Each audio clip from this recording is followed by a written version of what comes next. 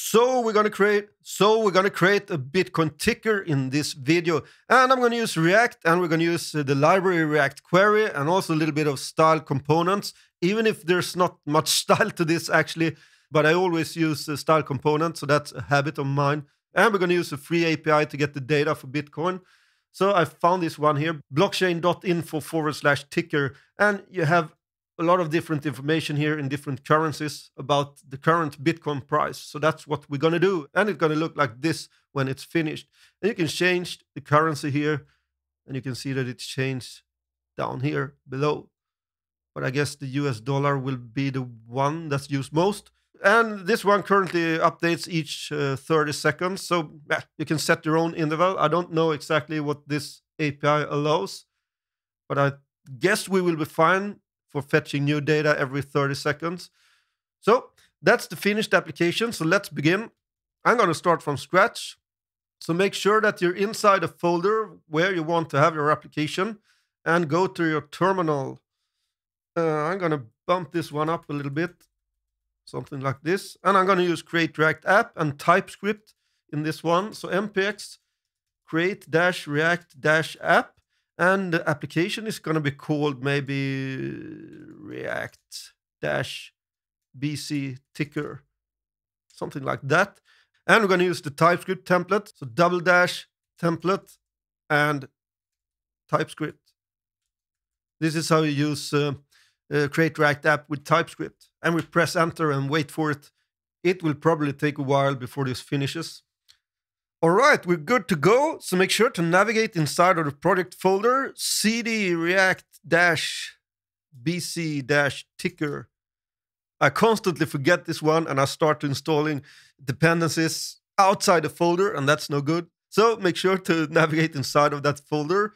And now we're going to install the dependencies for style components. So npm i styled dash components. And as we're using TypeScript, we also need the types for it. So we have an at types forward slash styled dash components. And then I'm going to use React query to fetch the data. So we install React dash query also. So I'm going to open up my code editor. Something like this, I guess, will be fine. And we have the SRC folder. And I'm going to bump this up and we can remove some stuff here. We don't need app.css. We don't need app.test.tsx. We don't need a index.css. We don't need a logo. We don't need report web vitals and set up tests. So we can delete those ones. Move to trash. And in the app.tsx file, we can clean this up a bit. Remove this one here. We actually don't need to import React anymore as we're using React 17. So remove this one. I like to have an arrow function instead. const app equals like this. And we can remove this stuff here. Everything inside of the header. We can just type out start. And also in the index.tsx file, we can remove some stuff. Remove the report web vitals. Remove the CSS, index.css I remove this stuff here at the bottom, save it, and also save the app file. I'm going to start up the application, npm start. I already have another application running here. So actually, I'm going to break that one first. That's the finished version. And then I type npm start. And we can see that it says start up here. So we should be good to go. Just open up the console also. All right. So the first thing we're going to do is to set up React query, and we do that in the index file. We have to create a query client for us to use. So we import query client and also the query client provider from React-query like this. And then we create our client, const client equals new query client. And we call that one. So this will create a client for us to use. And we have to provide it to our application. So down below here, just above the app we use the query client provider. That's the React component, and it takes in a prop that wants the client. So client, and I move app inside of that one. So this will provide us with a client for React queries. We can use React query in our application. And this is new from version 3. You didn't have to do this before. As I'm using the latest versions of the libraries now, we should do it this way. So we have to create this client and provide it to our application. All right, save the file, just making sure that everything works. It still works, that's fine. We go back to our app.tsx, and this is actually the only component that we're going to have for this one. So we're going to import some stuff up here. So import, we're going to need a use state. And we also need a use effect for this one. Effect from React. And then we import use query from React-query. And I'm also going to have some styles for this one later. So I mark it with styles. And I'm going to create a new folder here. Styles. And I create a new file inside of that one. app.styles.ts. And I'm going to import styled from style components.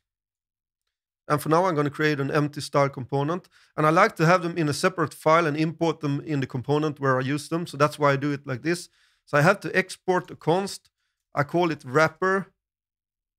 And I call style.div. And I just leave it empty for now. But that will make sure that we can import it here. So in, so in the app.tsx file, import wrapper from dot forward slash styles forward slash app dot styles. So that's all our imports. Then we're going to have a fetching function for our data. And I created one outside of the app component because we don't need to recreate this on every render. So we can have it outside of the component itself. So I create a const get BC data. BC is, of course, for Bitcoin equals. This is an async function. And then I'm going to wait. And then I await again. So the first await inside of parentheses is for the actual data to be received. And the await outside of, of the parentheses is going to be for converting to JSON. So I await fetch parentheses. We have the string with the URL https colon forward slash forward slash blockchain dot info forward slash ticker like this. And here, after the last parenthesis, I have a dot .json, and I call this one. So that's what this await is for. When we convert it to JSON, that's also an async function. So that's why I have two awaits. This will hopefully get the data for us.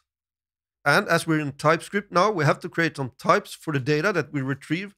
So type Bitcoin data equals and we have the types.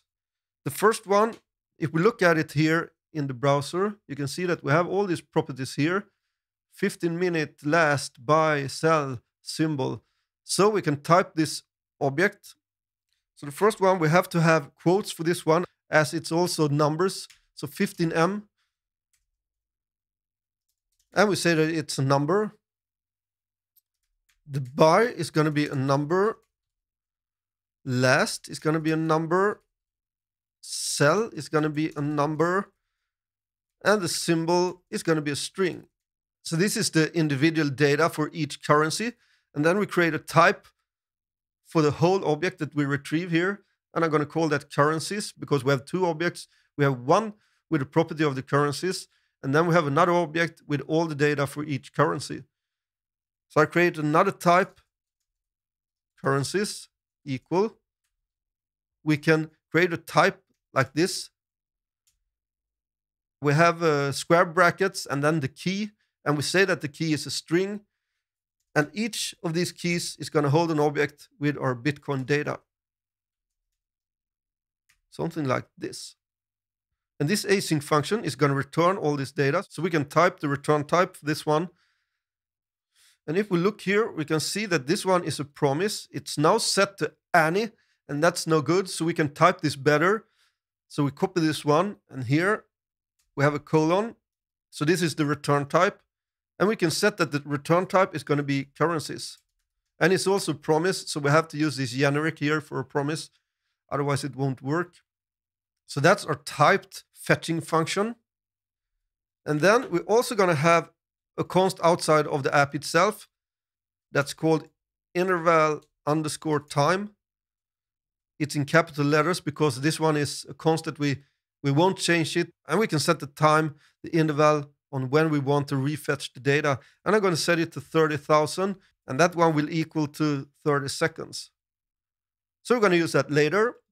Uh, I think this is all the setup that we need. We can continue on and create our application here now. So inside the app component, the first thing I want to do is to actually fetch some data. So we use the React query library for that. So I create a const, I destructure out the data, is loading, and error, and refetch. I'm also going to remove the sidebar. And I call the use query hook from the React query library. We can also type the return type because this is a generic. So we have these brackets here and we specify it at, as the same type as this one here, currencies. Then we have a parenthesis. We're going to name our query key. So we have a string. I name it bc-data. And then we have our function get bc data like this. Do some auto formatting and it will place it on their own row.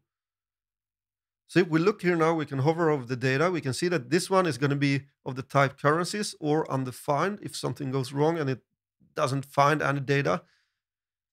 And this one is a boolean we can have we can use when we are loading, and this of course is for the error. And then we can refetch the data with this function here. So for now, I just want to console log this out to see if I get some data. So console log data like this. I save it, go back to the browser, to the application, to reload it.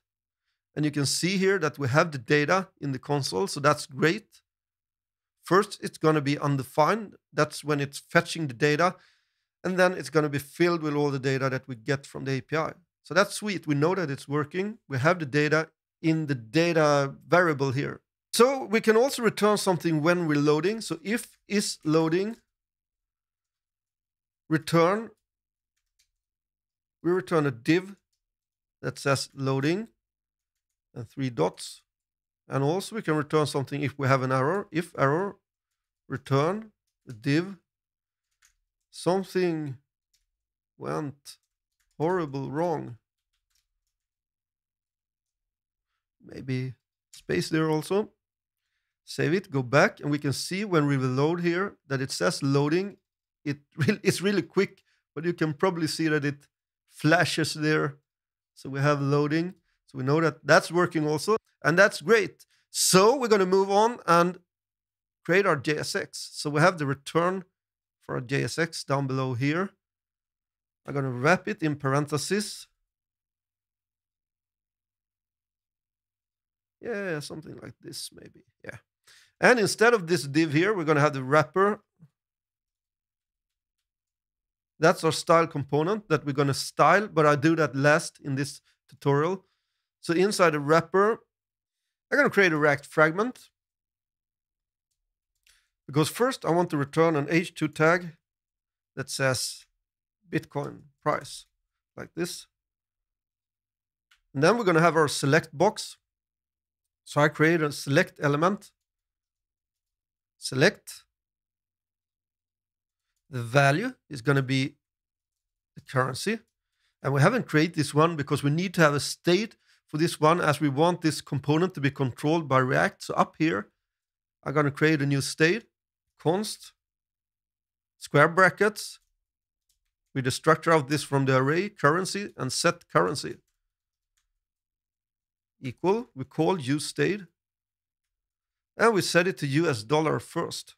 So we have a string with USD. All right, so now we have our state, and that's the value that we set here for the select box. We're going to have an onChange handle, handler also on this one, on-change equal handle currency selection. And we're going to create this function also, so we can do that maybe up here. We can remove this console log. So I create an arrow function. You can create a regular function if you want that. Handle currency selection equal. We're going to have the event. And for now, I set it to any. We're going to change this in a bit. And when we call this one, we set the currency to e dot current target dot value like this. So now we have our onChange function. Close this select, and inside the select, we're going to have our options. And the options is going to be from the data. So we have to map through the data, and we want the keys from the object to be the options. So we have a curly bracket, and then object.keys, and we have our data, and then we're going to map through it. We have a currency, and we can return something. And I make an implicit return here because we're only going to return JSX. So that's why I have parentheses and make an implicit return. So then we have our option. We have the key.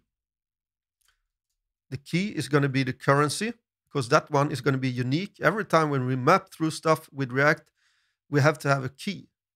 And you can see that it complains here now because this one can actually be undefined. So I guess we have to check here also if we really have an object. We can maybe do it like this, data. Yeah, we make a short circuit like this. We check if we have the data, and then we make a short circuit, and then this one knows that the data isn't undefined, so we can map through it. Because TypeScript warns us now if this one is undefined, we can't really map through it. So that's why we use this short circuit. We first check if we have any data before we do anything. All right. So then we can continue on with our option. The key is going to be the currency, and the value is also going to be the currency for this one. Inside of the option, we're also going to display the currency like this. So this should be it for the select box. And then below the select box, we want to display a div with the actual Bitcoin price and I place that in an H2 tag and I grab from the data currency dot symbol. That's going to be the currency symbol. We have this uh, little complaint here also because it thinks that it can be undefined. So we can do the same thing here, data, data, and data currency dot we're going to grab the last price. We could also make this check up here somewhere and check if we have the data and put all of this inside of a, a maybe a ternary operator or something. But I think this is a fairly small application, so we will be fine doing it like this. Okay, save the file, go back to the application, and you can see that we have the price here, and it's working. So we have this working application, but we have two more things to do, and that is we want to set an interval so that it updates automatically every 30 seconds, and then we need to give it a little bit of styling. So I go back to my application. Here below this function, I'm going to create a use effect.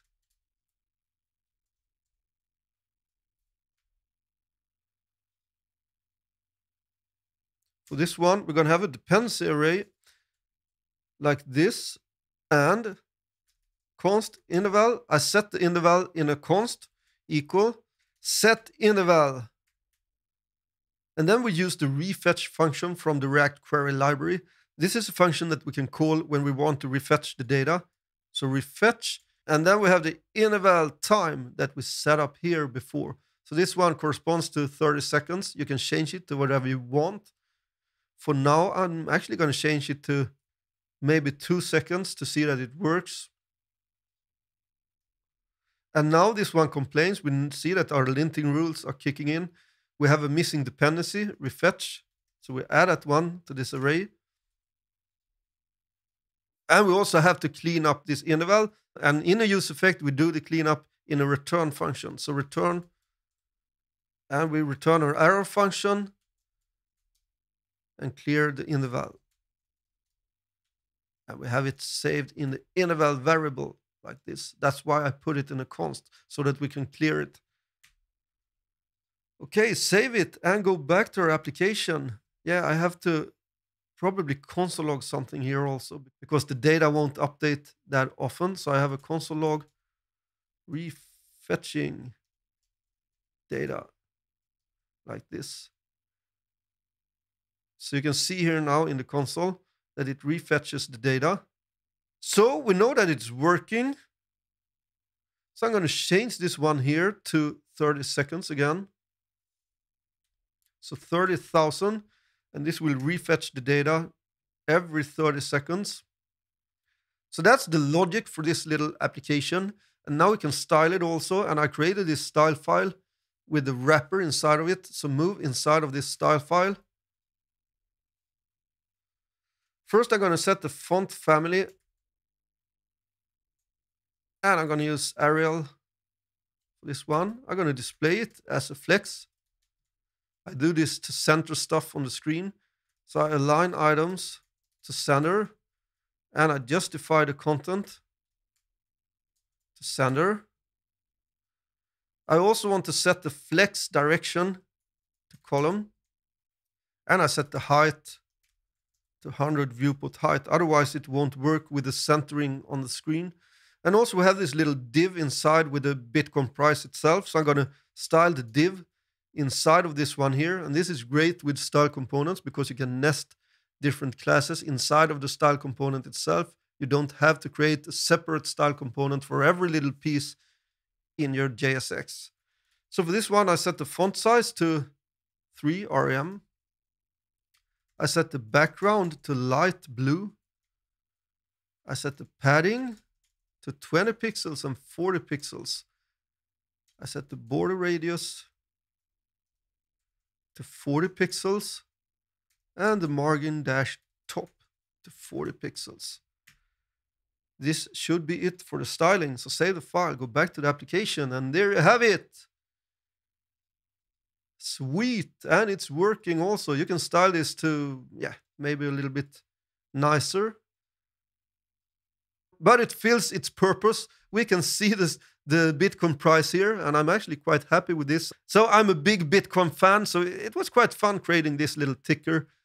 I hope you enjoyed it, and if you like my stuff, please, please, please, please support me by clicking the subscribe button and also share some stuff if you like it to other friends or, yeah, however you do it.